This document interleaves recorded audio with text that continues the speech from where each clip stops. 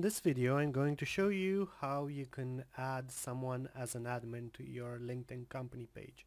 Just go to the company page.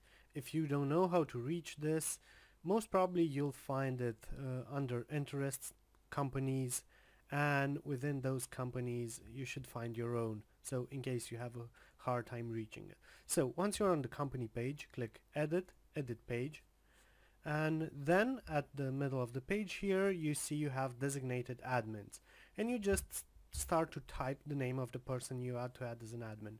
One requirement for this is that that person is already connected with you on LinkedIn so make sure you do that before going going to this page. That's all. Once you add them as an admin, they'll be able to make all the changes to your page, like change images, company specialities, addresses, and so on.